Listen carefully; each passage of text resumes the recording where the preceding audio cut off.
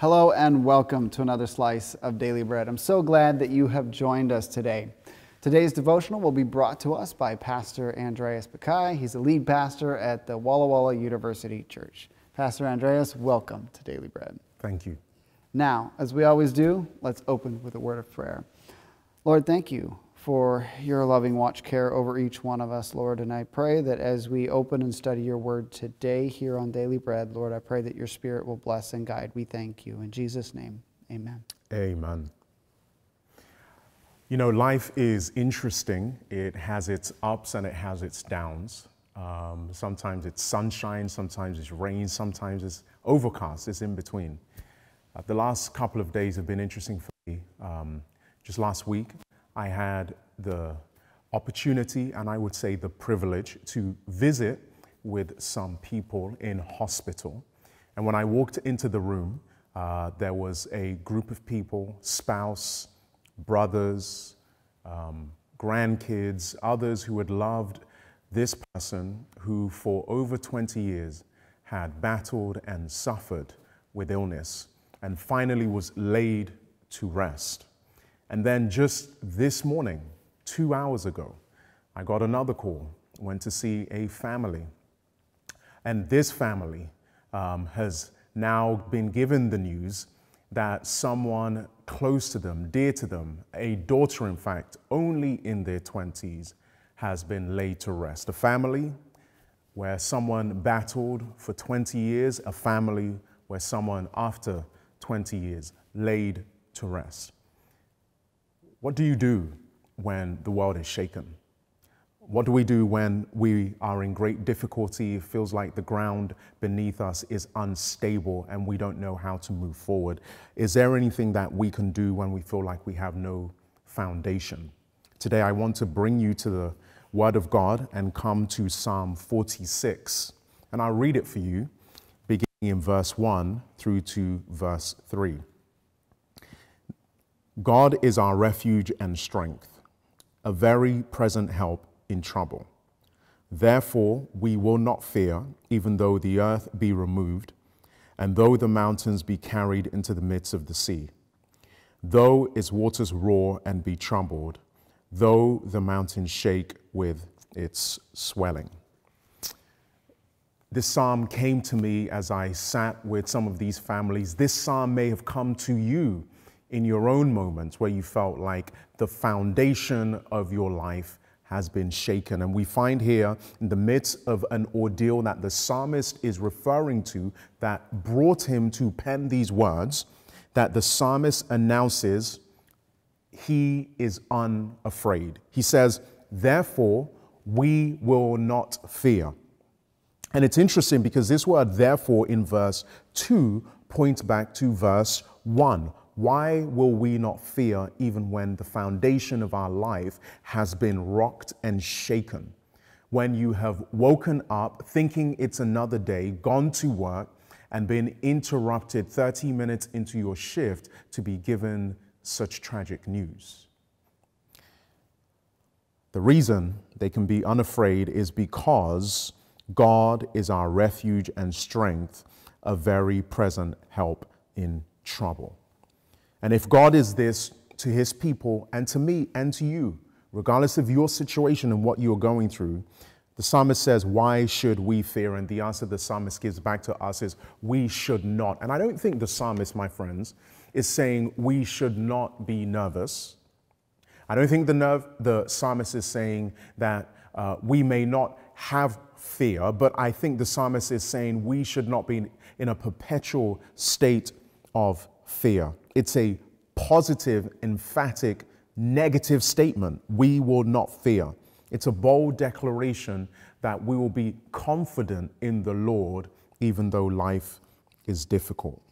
God is in the heavens and he remains in control of the outcomes of our lives. And so we can remain confident and calm knowing God will provide. And it's interesting when you read the rest of the Bible, you will see that this testimony is repeated over and over again in the Psalms as David speaks. Uh, for example, David told us earlier in Psalm 3, verse 1, he said, O Lord, how my adversaries have increased, many arising against me. And if you've read the life of David, you know this is not simply metaphorical. David had adversaries. In the face of this opposition, David anchors his trust in God. And then he says in verse 6 of Psalm 3 I will not be afraid of 10,000 people who have set themselves up against me. With his faith in God for David, it did not matter who raged against him. God was greater than any tragedy, any circumstance, any fight, any distress that he was threatened with. David also gives us a similar testimony. If you have a pen, write this one down as well in Psalm 23, verse 4, but you probably know it. Even though I walk through the valley of the shadow of death, I fear no evil because you are with me. In this life threatening trial that causes him to write this world famous psalm, he announces again that he will not fear because God is with him. A few more. David confesses in Psalm 27, verse 1 The Lord is my light and my salvation. And you can finish it for me. Whom shall I fear? This is a rhetorical question David asks, requiring a clear answer, which is no one. I will fear no one because the Lord is my light and my salvation. The Lord is his deliverance. David reasons, I will fear no one. And then he adds, The Lord is my defense of my life. Whom shall I dread? Rhetorical again. You see what David is doing. And what is the answer? No one. He fears no one because the Lord is the defense of his life. And then verse 3, he says, Though a host encamp against me, my heart will not fear. Psalm 27, now verse 3. My heart will not fear. This is David's firm confidence. And so, friends, in times of great difficulty, when we feel like the ground is shaking beneath our feet, and it seems like the world is collapsing around us, there is one foundation that will never be moved, and that is God Himself. In fact, Proverbs 18, verse 10, says later on that the Lord is a strong tower, and the righteous man runs to it and is safe. And it reminds me of a hymn, a hymn that um, I grew up singing. Maybe you know this hymn as well. Uh, it's called Leaning on the Everlasting Arms. Uh, it was written in 1887 by Anthony J. Showalter, who was writing a letter to a couple of his friends, I think two different friends. And he found out as they were corresponding that both of these close friends had recently lost their spouses. And they were grieving. They were heartbroken that their life partners had gone before them. And so, in an effort to try to give some uh, solace, right, to provide some solace, Showalter references Deuteronomy chapter 33, verse 27. Let me read it for you. It says that the eternal God is your dwelling place, and underneath are the everlasting arms. And meditating on this passage, Showalter sits down at his piano. You can imagine him perhaps coming into his parlor opening the windows, letting the light flood through, see the dust perhaps sparkling in the air. He opens his piano, he sits down, and then he writes the chorus for this hymn Leaning, leaning, safe and secure from all alarms, leaning, leaning, leaning on the everlasting arms. Then he calls his friend, who was a hymn writer, and her name was Alicia Albright Hoffman. And he said, Alicia, I have this chorus. I've been meditating on Deuteronomy chapter 33. I've written about the ability we have, even in times of difficulty, to lean on God. And this is the chorus. She listens to the chorus, she, she reads the words, and then she comes and helps him write the lyrics for the verses. What a fellowship! What a joy divine, leaning on the everlasting arms. What a blessedness, what a peace is mine, leaning on the everlasting arms. And then he goes on, Oh, how sweet to walk in this pilgrim way, leaning on the everlasting arms. Oh, how bright the path, grows from day to day, leaning on the everlasting arms. And then the very last verse, which connects us back now to the Psalms. What have I to dread? Like David, it's rhetorical. What have I to fear? It's rhetorical. No one, nothing. Leaning on the everlasting arms. I have blessed peace with my Lord so near, leaning on the everlasting arms. And friends, this is the same for us today. It's true for us thousands of years later because the Bible is a timeless book that speaks to every person from every culture at every age. And it speaks to us at every stage of our own lives. And as we look around us, there is so much in this world that can cause us to fear. There are phone calls that will cause us to tremble. But when we look upward to the throne of God, we have reason, even in the midst of storms, to be confident and calm. When we look to the Lord and trust He's causing all things to work together for our good. Though that outlook may be bleak, the look up is always bright. So I don't know where you find yourself today as you listen to this small meditating meditation. The world may be collapsing, but you can stay strong. No matter the trials you face, you can remain triumphant through your friend in God. Though the earth should change, David says, and every one of us can see ourselves in this psalm. We've encountered times when we have doubted uh, if we can make it another day, where our existence has been shaken and turned upside down.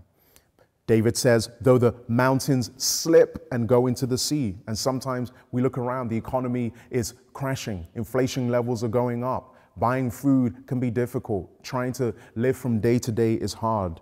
A retirement portfolio may not be as strong and robust as it once was.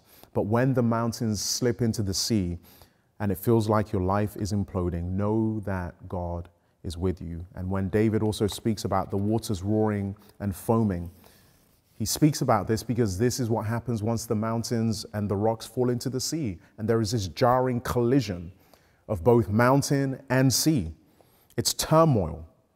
And when our lives resemble turbulent trials and fears that create just hard emotions inside of us and produce fear and panic, and we feel like we're sinking in despair, know that God is still with us and we should not dread.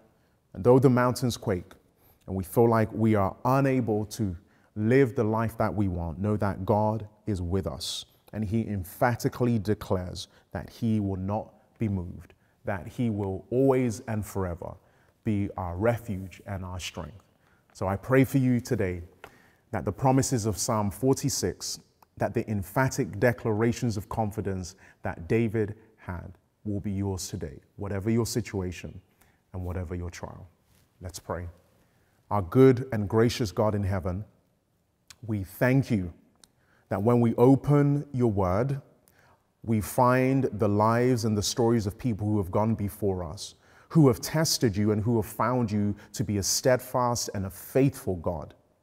We thank you for the testimony of Psalm 46 that gives to us encouragement even when it feels like the ground beneath us is shaken, even when it feels like we are crumbling. And Father, we thank you for those who wrote hymns inspired by these promises that when we are with you, we can lean on your everlasting arms and we can be safe and secure from all alarms and from all dread because you are with us. Bless us and keep us, I pray, in Jesus' name. Amen. Pastor Andreas, thank you so much for sharing today's devotional. You're welcome and thank you for joining us for Daily Bread today. You know, as we always do, we like to leave you with a promise that comes from God's Word, and today's promise comes to us from Proverbs 2 and verse number 6. And it says, For the Lord giveth wisdom, out of his mouth cometh knowledge. What a wonderful promise, friend. There's lots more promises that can be found in God's Word. I encourage you, as always, to pick up God's Word, spend some time reading and studying its sacred pages. Thank you for joining us for Daily Bread today. I hope you are blessed and I hope to see you again tomorrow. Until then, so long.